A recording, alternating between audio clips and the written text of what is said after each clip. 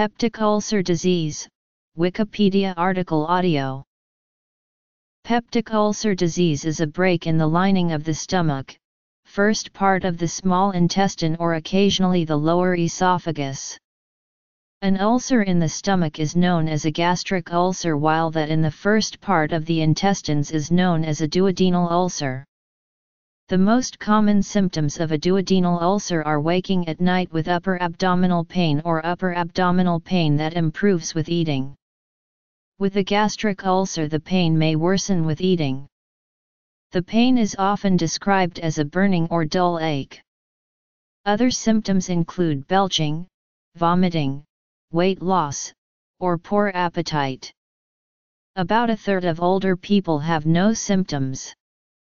Complications may include bleeding, perforation and blockage of the stomach.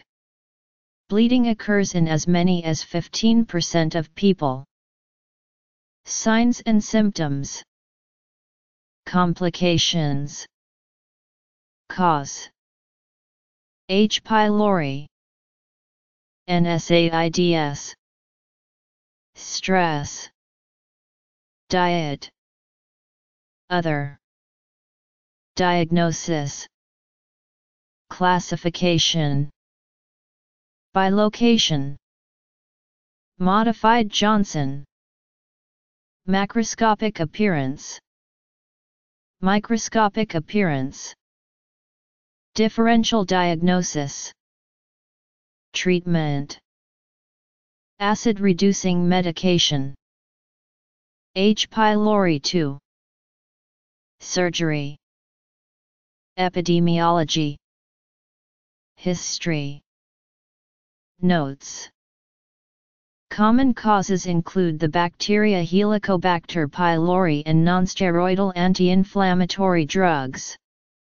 Other less common causes include tobacco smoking, stress due to serious illness, Behçet disease, Zollinger-Ellison syndrome, Crohn disease, and liver cirrhosis, among others.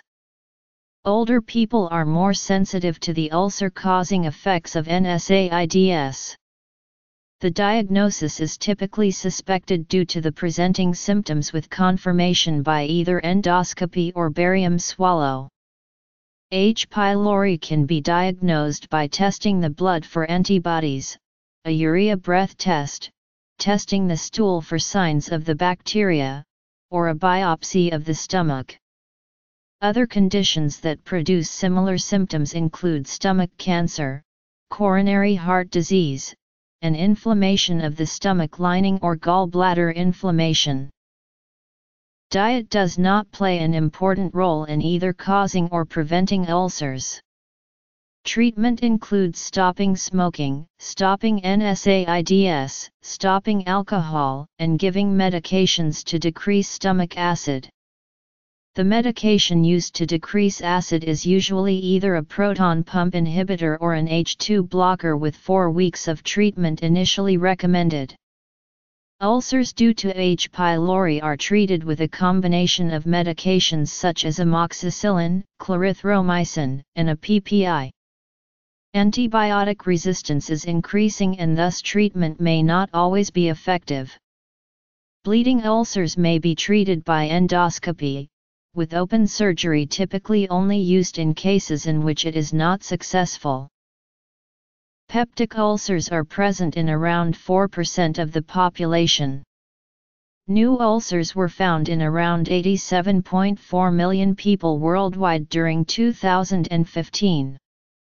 About 10% of people develop a peptic ulcer at some point in their life they resulted in 267,500 deaths in 2015 down from 327,000 deaths in 1990. The first description of a perforated peptic ulcer was in 1670 in Princess Henrietta of England. H. pylori was first identified as causing peptic ulcers by Barry Marshall and Robin Warren in the late 20th century, a discovery for which they received the Nobel Prize in 2005. Signs and symptoms of a peptic ulcer can include one or more of the following. A history of heartburn, gastroesophageal reflux disease and use of certain forms of medication can raise the suspicion for peptic ulcer. Medicines associated with peptic ulcer include NSAIDs that inhibit cyclooxygenase, and most glucocorticoids. In people over the age of 45 with more than two weeks of the above symptoms, the odds for peptic ulceration are high enough to warrant rapid investigation by esophagogastroduodenoscopy. The timing of the symptoms in relation to the meal may differentiate between gastric and duodenal ulcers. A gastric ulcer would give epigastric pain during the meal, as gastric acid production is increased as food enters the stomach. Symptoms of duodenal ulcers would initially be relieved by a meal, as the pyloric sphincter closes to concentrate the stomach contents, therefore acid is not reaching the duodenum. Duodenal ulcer pain would manifest mostly 2-3 hours after the meal, when the stomach begins to release digested food and acid into the duodenum. Also, the symptoms of peptic ulcers may vary with the location of the ulcer and the person's age. Furthermore, typical ulcers tend to heal and recur and as a result the pain may occur for few days and weeks and then wane or disappear. Usually, children and the elderly do not develop any symptoms unless complications have arisen. Burning or gnawing feeling in the stomach area lasting between 30 minutes and 3 hours commonly accompanies ulcers. This pain can be misinterpreted as hunger, indigestion, or heartburn. Pain is usually caused by the ulcer but it may be aggravated by the stomach acid when it comes into contact with the ulcerated area. The pain caused by peptic ulcers can be felt anywhere from the navel up to the sternum, it may last from few minutes to several hours and it may be worse when the stomach is empty. Also, sometimes the pain may flare at night and it can commonly be temporarily relieved by eating foods that buffer stomach acid or by taking anti-acid medication. However, peptic ulcer disease symptoms may be different for every sufferer. A major causative factor of duodenal ulcers is chronic inflammation due to Helicobacter pylori that colonizes the antral mucosa.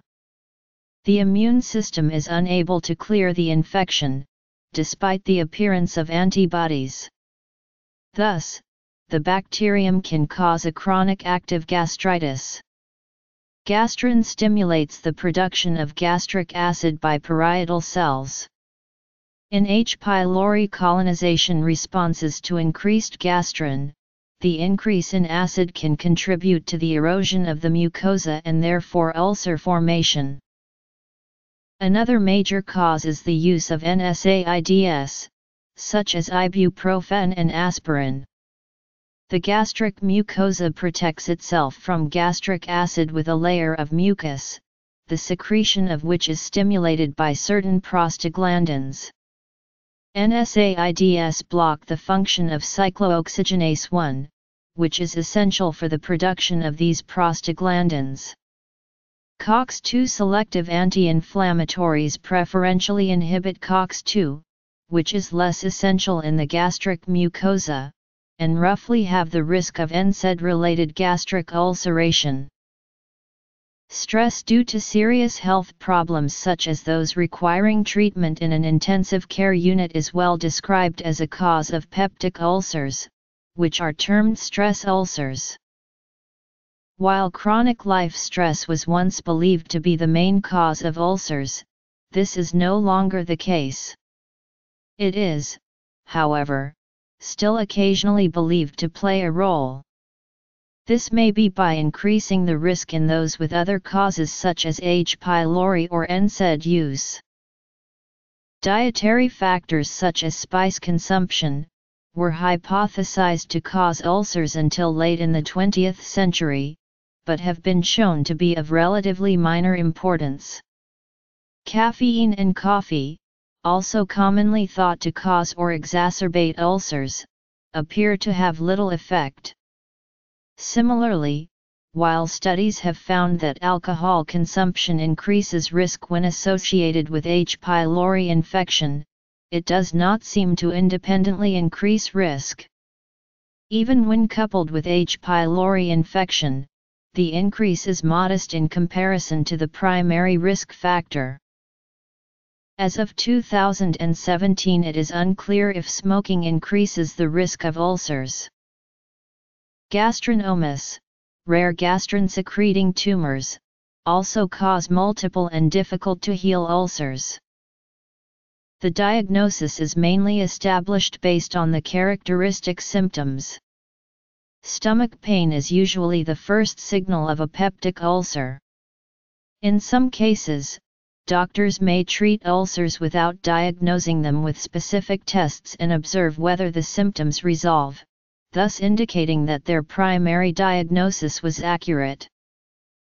More specifically, peptic ulcers erode the muscularis mucosae, at minimum reaching to the level of the submucosa. Confirmation of the diagnosis is made with the help of tests such as endoscopies or barium contrast X-rays. The tests are typically ordered if the symptoms do not resolve after a few weeks of treatment, or when they first appear in a person who is over age 45 or who has other symptoms such as weight loss, because stomach cancer can cause similar symptoms.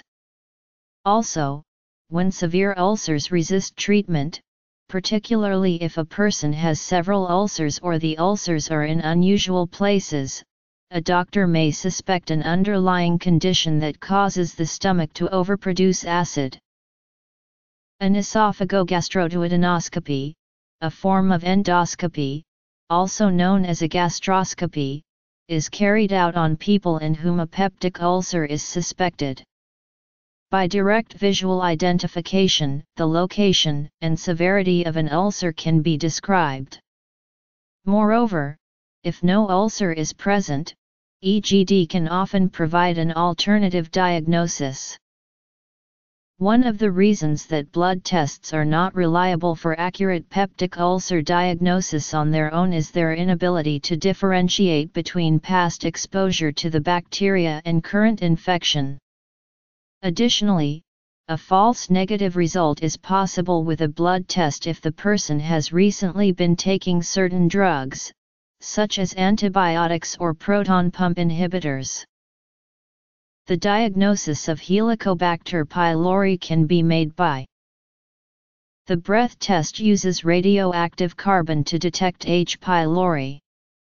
To perform this exam the person will be asked to drink a tasteless liquid which contains the carbon as part of the substance that the bacteria breaks down. After an hour, the person will be asked to blow into a bag that is sealed. If the person is infected with H. pylori, the breath sample will contain radioactive carbon dioxide. This test provides the advantage of being able to monitor the response to treatment used to kill the bacteria. The possibility of other causes of ulcers, notably malignancy needs to be kept in mind. This is especially true in ulcers of the greater curvature of the stomach, most are also a consequence of chronic H. pylori infection. If a peptic ulcer perforates, air will leak from the inside of the gastrointestinal tract to the peritoneal cavity. This leads to free gas within the peritoneal cavity. If the person stands erect, as when having a chest x-ray, the gas will float to a position underneath the diaphragm. Therefore, gas in the peritoneal cavity, shown on an erect chest X-ray or supine lateral abdominal X-ray, is an omen of perforated peptic ulcer disease. Gastric ulcers are most often localized on the lesser curvature of the stomach. The ulcer is a round to oval parietal defect, 2 to 4 cm diameter, with a smooth base and perpendicular borders. These borders are not elevated or irregular in the acute form of peptic ulcer, regular but with elevated borders and inflammatory surrounding in the chronic form. In the ulcerative form of gastric cancer the borders are irregular. Surrounding mucosa may present radial folds, as a consequence of the parietal scarring. A gastric peptic ulcer is a mucosal perforation which penetrates the muscularis mucosae and lamina propria, usually produced by acid pepsin aggression. Ulcer margins are perpendicular and present chronic gastritis. During the active phase, the base of the ulcer shows four zones, fibrinoid necrosis, inflammatory exudate, granulation tissue, and fibrous tissue. The fibrous base of the ulcer may contain vessels with thickened wall or with thrombosis. Conditions that may appear similar include Younger people with ulcer-like symptoms are often treated with antacids or H2 antagonists before endoscopy is undertaken. Abdominal pain, classically epigastric strongly correlated to mealtimes. In case of duodenal ulcers the pain appears about 3 hours after taking a meal, bloating and abdominal fullness, water brash, nausea and copious vomiting, loss of appetite and weight loss, hematemesis. This can occur due to bleeding directly from a gastric ulcer, or from damage to the esophagus from severe slash continuing vomiting, melena, rarely, an ulcer can lead to a gastric or duodenal perforation, which leads to acute peritonitis, extreme, stabbing pain, and requires immediate surgery. Urea breath test, direct culture from an EGD biopsy specimen, this is difficult to do, and can be expensive. Most labs are not set up to perform H. pylori cultures, direct detection of urease activity in a biopsy specimen by rapid urease test, measurement of antibody levels in the blood. It is still somewhat controversial whether a positive antibody without EGD is enough to warrant eradication therapy, stool antigen test, histological examination and staining of an EGD biopsy. People who are taking nonsteroidal anti-inflammatories may also be prescribed a prostaglandin analog in order to help prevent peptic ulcers. H2 antagonists or proton pump inhibitors decrease the amount of acid in the stomach, helping with healing of ulcers. When H. pylori infection is present, the most effective treatments are combinations of two antibiotics and a proton pump inhibitor, sometimes together with a bismuth compound. In complicated, treatment-resistant cases, three antibiotics may be used together with a PPI and sometimes with bismuth compound. An effective first-line therapy for uncomplicated cases would be amoxicillin and metronidazole and pantoprazole.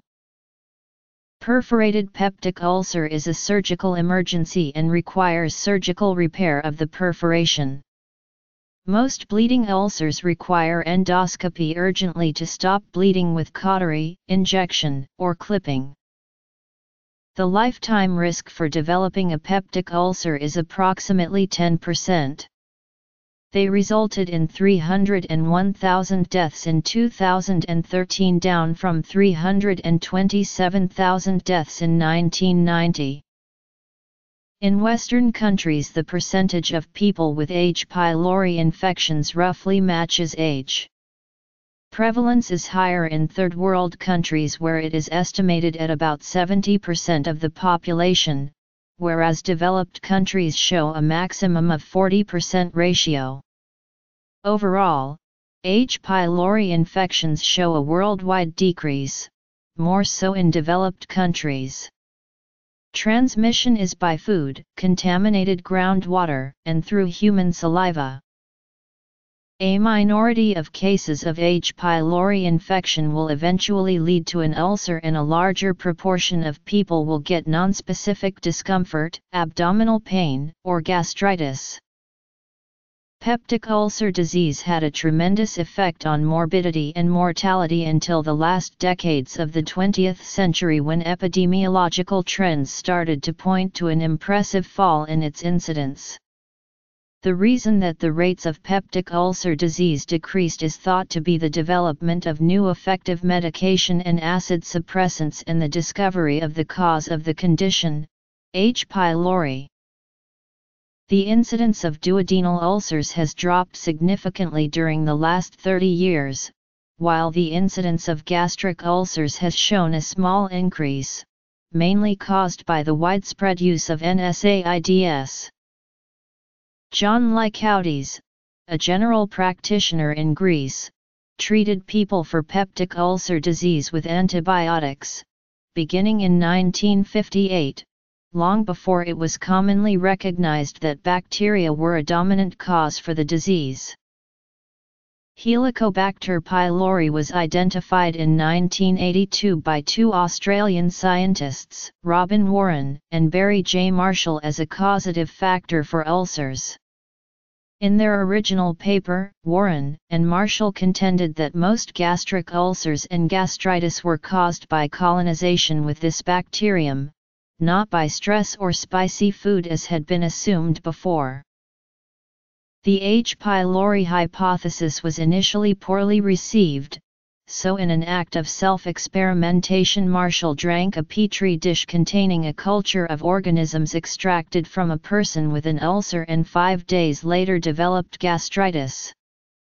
His symptoms disappeared after two weeks, but he took antibiotics to kill the remaining bacteria at the urging of his wife, since halitosis is one of the symptoms of infection.